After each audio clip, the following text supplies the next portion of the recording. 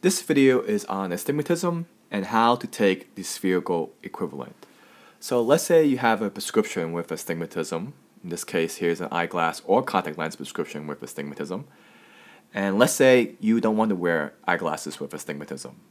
So there's a way to give you a prescription without astigmatism. It's called taking the spherical equivalent. So what you do is you take the first number, minus 1, and then you add it to 1 half of the second number, 1 half of the second number, which is minus 50. And you get minus 150. This 150 is the spherical equivalent of this eyeglass prescription.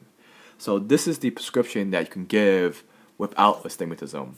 So this is the prescription that without astigmatism will be the clearest.